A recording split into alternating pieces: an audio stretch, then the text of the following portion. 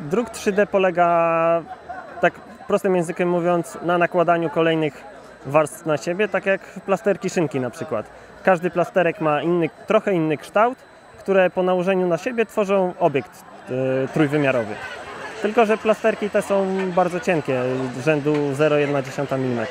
Najczęściej drukowane elementy na drukarkach 3D są to elementy do następnych e, drukarek 3D. Tak jak tu widzimy, ta drukarka jest wydrukowana z elementów drukowanych na innej drukarce. Możemy wydrukować elementy, e, przedmioty codziennego użytku, takie jak e, widelec, na przykład nożyk, ale plastik ten no nie, nie bardzo się nadaje do kontaktu z e, rzeczami sp- spożywczymi, które później spożywamy.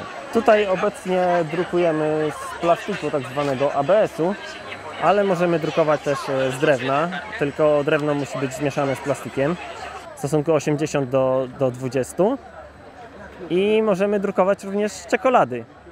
Czekolada też, różne figurki czekoladowe możemy sobie na odpowiednio przygotowanej drukarce też wydrukować i to nie, nie stwarza problemów.